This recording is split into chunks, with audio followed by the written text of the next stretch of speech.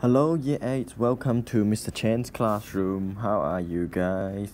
So, today in science, we will actually learn how to read the periodic tables. So, in there, I'm gonna teach you how uh, what are chemical symbols, and I will actually go through what are metals, metalloids, and non-metals and I will go through the atomic numbers and also uh, atomic mass and mass numbers. Okay so those are the keywords so uh, let's begin. So as you can see uh, down the bottom we have periodic table and they are very colorful. This is actually a more advanced periodic table that you will see so but i'm just gonna uh, teach you the basic of it. Okay i'm gonna teach you what those numbers means. I'm gonna highlight the numbers now. Okay like those numbers. Like what are these numbers means? And also the number at the bottom. Okay look at those numbers? So let's start from the first one so the way how periodic table works is it groups them from the lightest to the heaviest okay? So as you can see one uh two three four five six there are how uh, light it is. Obviously the bigger number it is the heavier it is. However the number at the top um, there are two different numbers all right if you see here there is 1 and 1.008 that one um, that means if you watch the previous videos it means the this that one is the atomic number. All right the smaller number is the atomic number and the bigger number is atomic mass. Okay so uh, atomic number represent the number of proton number of proton. And atomic mass is the combination of number of proton plus number of elect uh neutron sorry neutron. So uh what that means is if we look at uh, helium over here that means there are two protons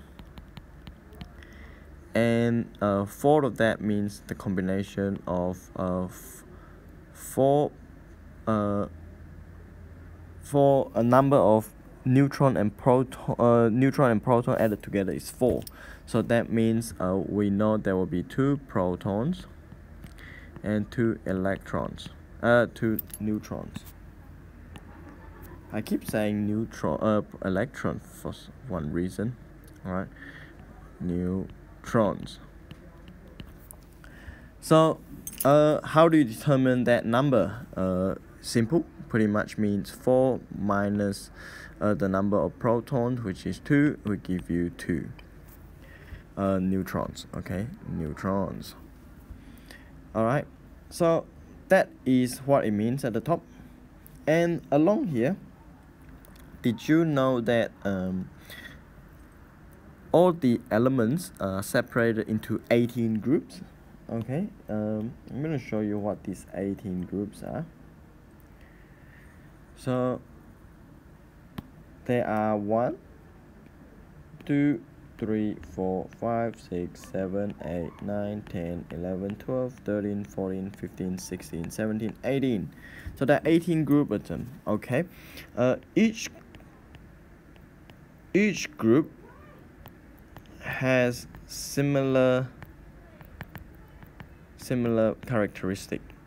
So pretty much they kind of behave the same way all right they kind of behave the same way uh, there are 18 groups of them. 18J, okay. Groups. It's cool isn't it? Um, it's kind of like people where you have a bunch of friends and uh, friends that you actually get along with are, are the one that have kind of similar personality to you. So that's how we group the periodic table okay? So um, chemical symbols are symbols that represents uh, each of the element. So for hydrogen here you have a symbol of H. For uh, zinc here you have a symbol of ZH remember that always always each element by the way each element always start with a capital letter. Alright so but however the second letter of the symbol will always be small a small letter. So uh, some of the thing that uh, people get confused on is this one. I'm gonna give you an example. Example CO small letter which one do you think that would be CO alright. So if you look over here on the periodic table CO stand for cobalt. Alright. However if you write it like CO both are big capital. That means it is a um, compound of carbon that will be your carbon. And that will be your oxygen. So you do not want to confuse people and you do not want to confuse yourself. So make sure when you write them properly each element make sure only have one capital letter. And if it has two capital letter that means there tend to be a molecule or a compound. All right so so far we went through what is chemical symbol we went through what uh, are your atomic number which is the number of proton and what is your atomic mass. Atomic mass uh, by the way also called mass number in some um, situation. But basically they are the same thing alright? Atomic mass is how heavy it is and it is a combination of proton and neutron. Make sure you remember that. Okay so by knowing a proton number we can find out what the neutron number just by taking the number away. Okay. So what next is uh, the categorization of metal metalloids and non-metals? In your periodic table they are categorized into three big uh, category. Remember there are 18 groups of them right?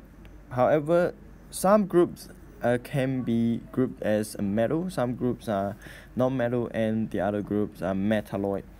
So metals when you look at this it is color coded as this here. So metal alkaline here alkaline metal alkaline earth transition metal all three of these they are all metal. So pretty much uh, metals are quite large. So I'm gonna use black color. Okay. So start from here to here. The whole lot here. And up to here. Okay. So this part. Polonium polonium polonium polonium theriums. So up to here. They are all metals okay? So everything in here are metal and in metal you have different types of metal as well. Uh, but don't worry about that. At your year 8 level you just need to know that whole group here are metal and that be the they they have special characteristic which mean they're usually very metals are shiny. Right they are very shiny and they're very dense. Alright heavy in that sense and they're uh, high melting point. They're very hard to melt. You need to heat them up very uh, very uh, give them a lot of heat energy for it to actually melt. And it also has characteristic like uh, easily uh, shape shapeable easily uh, bend or shape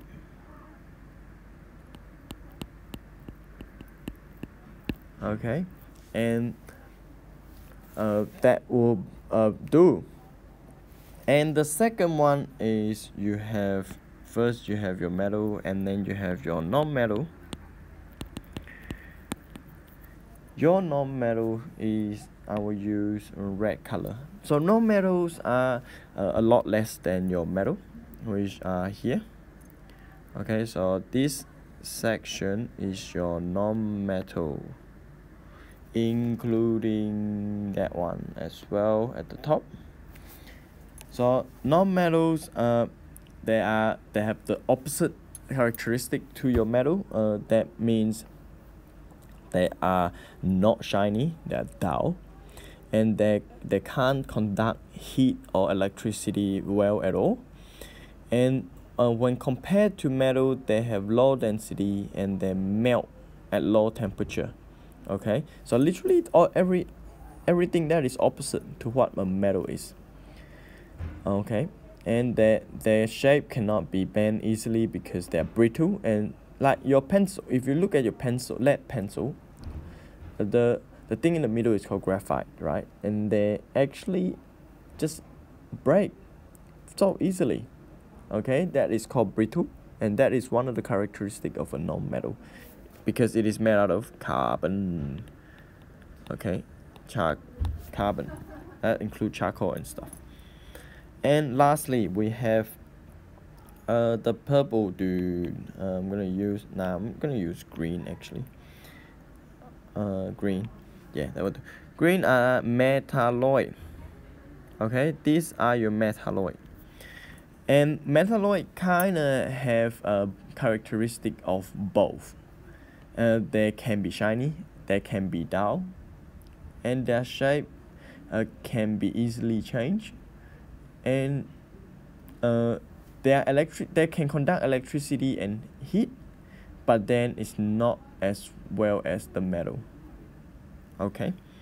So if you need to please rewatch this video and listen carefully to what I have uh, told taught you. And heard and hope that you actually uh, know how to read periodic table on a basic level now. Cool work guys. Uh, see you soon in the next video. Thanks for listening. See ya. Ciao